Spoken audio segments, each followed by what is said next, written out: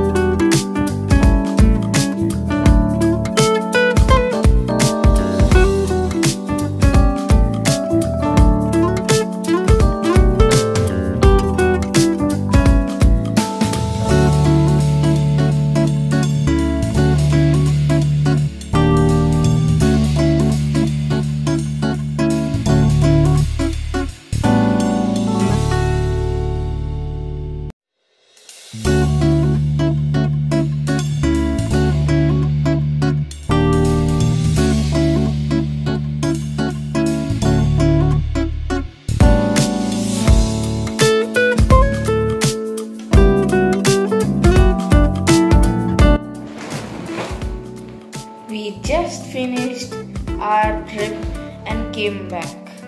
Whoa, it was a long walk around the museum. If you guys also want to join us to some cool trips like this, subscribe, share, and like. Bye.